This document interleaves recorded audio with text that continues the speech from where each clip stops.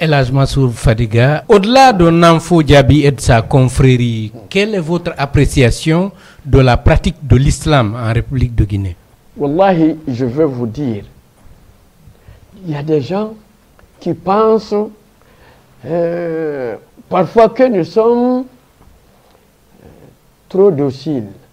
Mais moi, je dis que la vraie religion en Afrique de l'Ouest, c'est bien en Guinée.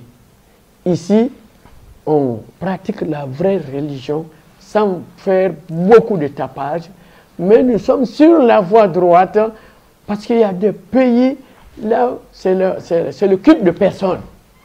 C'est pas le culte vous, vous pensez à quel pays? Au Sénégal, au Sénégal par exemple? Attendez, s'il y a des pays là où les gens, hein, les adeptes de certains confréries ne prient pas, ne jeûnent pas, ils disent que leur grand marabout a prié pour eux, a jeûné pour eux.